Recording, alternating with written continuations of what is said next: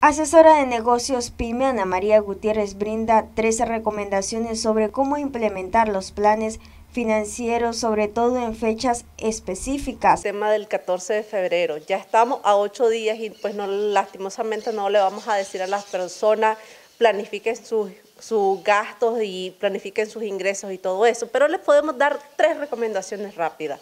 La primera es planifiquen a dónde van a ir, cuáles son sus salidas, qué es lo que van a comer. Tal vez no al detalle, pero sí un ejemplo, un presupuesto. Ya vamos a ver que X lugar, X restaurante vale un ejemplo 10 dólares y entonces van a hacer un presupuesto de, de 20 a 30 dólares máximo y mínimo.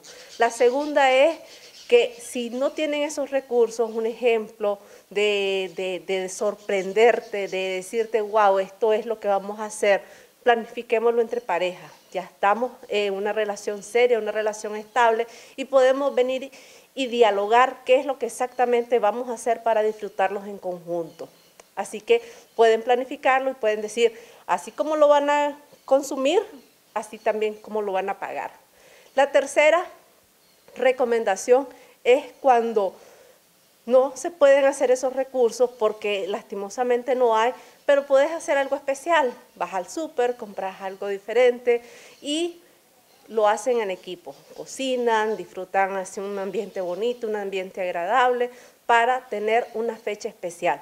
Y lo último también es la recomendación de amigos. Si hacen un grupo de amigos, consuman un mismo punto y plantéenselo a un emprendedor y díganle, mira, nos puedes cocinar algo, nos puedes hacer algo y usted hace un presupuesto, porque trabajando en equipo es que se pueden cuidar las finanzas. Y la recomendación de cierre, sumen todo lo que van a gastar y establezcanlo, si es al crédito, en cuántas cuotas lo van a pagar.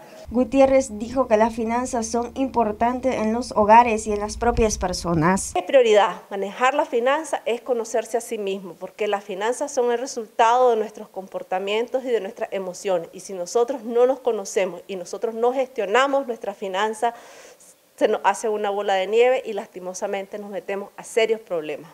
Noticias 12 Darlene Telles.